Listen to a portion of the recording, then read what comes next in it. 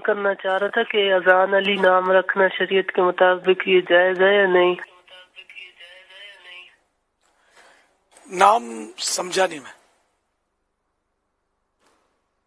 अजान अली नाम रखना अजान। अली अजान अली। जी।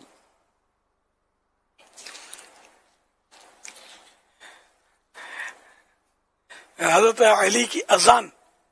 अगर ये मुराद है तो मानना तो बुरे नहीं है ये। माना तो अच्छे ही बन रहे नाम मना वो होता है जिसके माना बुरे होते हैं। या अपनी तारीफ़ पाई का, पाई जाए। अपने मुँह में मिट्टो ने, इसको भी मना किया गया है। लेकिन वो बुरा नाम जो है ना, इसकी सख्ती है। मुमानत में वो ज़्यादा सख्त है। अजान अली में तो बाज़ार तो कोई, मुझे तो हर्ज नहीं लगता, मुफ्ती साहब जैसे फरमाए।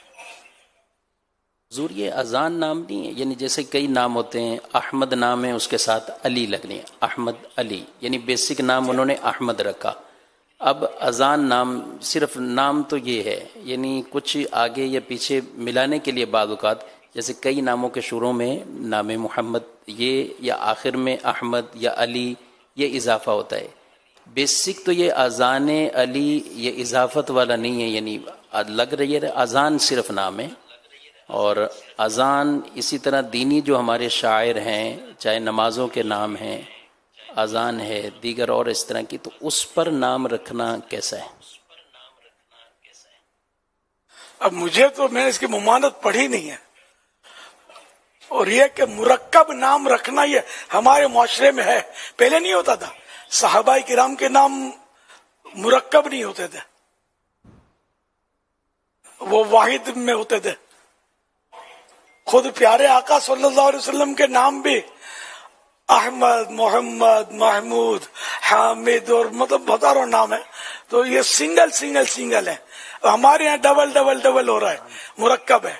तो इसमें कोई शरण हर नाम में हरज नहीं है, कहीं कहीं हरज होती है। लेकिन अजान अली में मतलब कोई अब मुझे पता नहीं है इसके बारे में, वो पढ़ा नहीं है। तो जैसे आप फरमाएँ जो आपने फरमाया वो दुरुस्त है। इसमें कोई ममानत की वजह मौजूद नहीं है कि जिसकी वजह से इसे मना किया जाए। जी जी।